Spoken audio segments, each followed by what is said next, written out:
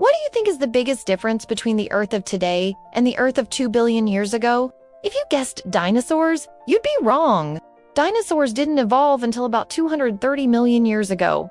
So that's not a huge difference in time. I'm talking about a much bigger change, like going from this to this. It's the amount of oxygen in the atmosphere. Today, our planet's atmosphere is about 21% oxygen, but the amount of oxygen in the atmosphere hasn't always been that way. In fact, for most of Earth's history, it was much, much lower. So, how do we know how much oxygen was in the atmosphere all those years ago?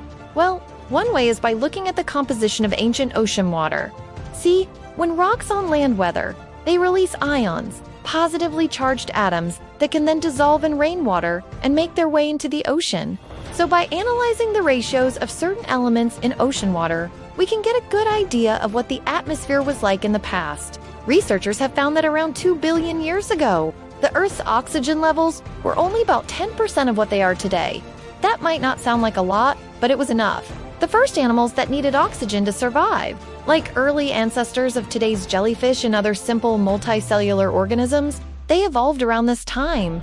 But why did oxygen levels rise so dramatically after that? One theory has to do with the evolution of plants. Photosynthetic organisms use sunlight, carbon dioxide, and water to create their own food, and as a byproduct, they release oxygen.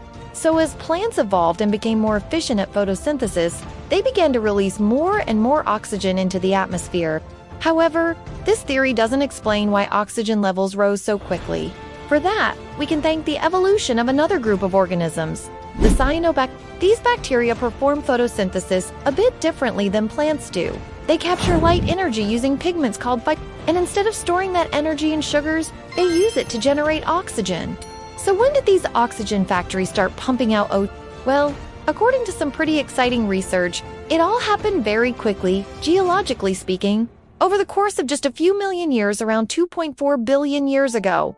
At the same time, photosynthetic bacteria were evolving. There was also a massive increase in the number of genes related to oxygen production and protection against the harmful effects of oxygen.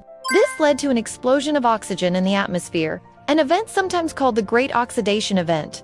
Okay, but why do we care so much about the amount of oxygen in the atmosphere?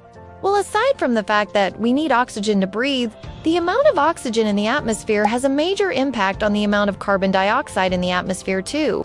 You see, when oxygen levels are high, like they are today, carbon dioxide is less likely to react with water to form carbonic acid. It also helps them predict how the oceans may change in the future.